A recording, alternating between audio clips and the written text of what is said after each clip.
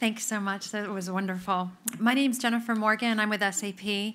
And we're so proud to sponsor this event in the Tory Burch Foundation. This is a natural for us, for our company, uh, not just because we happen to be headquartered here locally in the area, but because we so completely identify with the vision and the goals of the Tory Burch Foundation.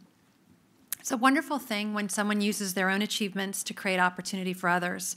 And Tory is such an example of this for all of us because she reminds us that the best kind of success is shared success. Thank you for sharing tonight with us and for sharing these amazing leaders with us tonight. Embracing ambition, of course, is about embracing the gifts each of us have and having the chance for, for us to use them in full.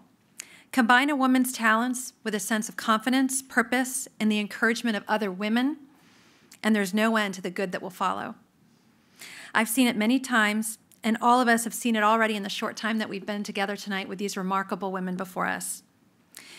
I'm excited to introduce you to the next speaker. She's 16 years old and a proud cadet at the Delaware Military Academy. The Academy is centered around the core values of honor, courage, commitment, and these are evident in the discipline and mission focus of this amazing high school sophomore.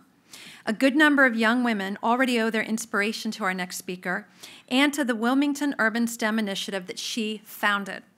The title of her TED Talk, she already has TED Talk, captures perfectly the spirit of the enterprise. Today's girls, tomorrow's scientists. Meeting her this evening, I found myself hoping today's cadet, tomorrow's SAP colleague, maybe we can talk. Because this is a kind of young woman who lifts people up and makes great things happen. Ladies and gentlemen, please join me in welcoming Jacqueline Means.